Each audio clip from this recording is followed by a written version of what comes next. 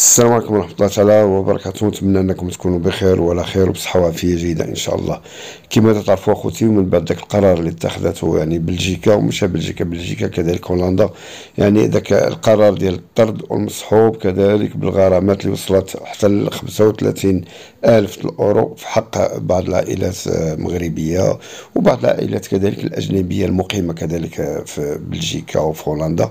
يعني مش المغاربة بوحدهم يعني كاين عائلات كذلك تركيا عائلات من جورجيا تا هما. المهم أجانب اللي كاينين تما مقيمين في على التراب ديالها ديال بلجيكا وتستافدوا كما قلت لكم من داك السكن الاجتماعي تم يعني الطرد ديالهم. بطبيعة الحال عطاوهم مهله باش غادي يخرجوا ماشي في ديك الساعة خرجوا لهم حوايجهم. المهم عندهم مهله أنهم يخرجوا من الديور من هاد المنازل وكذلك الأداء ديال الغرامات اللي غادي توصل ل 35 ألف أورو. يعني الناس ما عارفينش اش غادي يديروا في هاد المسألة هادي. المهم السلطات البلجيكية تقول بأنه يعني هذه المسائل اللي داروها هما مخالفه للقانون لأن القانون تيقول اللي عنده يعني السكن سواء في بلجيكا أو في خارج بلجيكا يعني ما عندوش الحق في السكن الاجتماعي هذا هو القانون.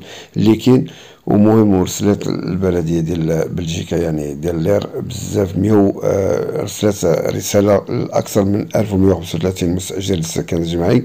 يعني تذكرهم بهذه المسألة هذه ديال الملكية ديال العقارات في الخارج بأنها محظورة واللي يعني ملي تم التحقيق واللي لقاوه يعني عنده العقار يعني خارج آه، بلجيكا. بطبيعة الحال راه غادي يتم الطرد ديالو من هذاك السكن. وبالتالي كذلك التغريم ديالو آه لبعض المبالغ. المهم سا ديبون على حسب ذاك العقار اللي عند هذاك السيد والمدة كذلك اللي استفد منها من هذا السكن الاجتماعي.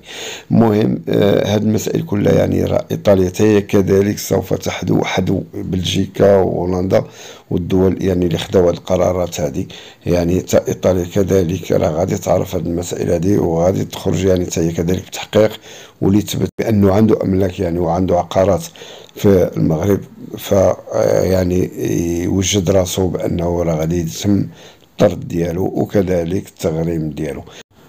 للأسف هذا خبر غير صار للعديد سيرتو اللي عندهم أملاك وعندهم عقارات في المغرب وتستافدوا هنايا من السكن الاجتماعي يعني يوجدوا راسهم لأنه راه كاين تحقيق في هذه المسائل هذه المهم الإنسان يحاول يقلب على شي حلول قبل ما يوصل يعني يوصلوا ليه ويصيفطوا ليه يعني استدعاء في هذه المسألة هذه نتلاقى معكم في شي فيديو آخر إن شاء الله. والسلام عليكم ورحمة الله تعالى وبركاته.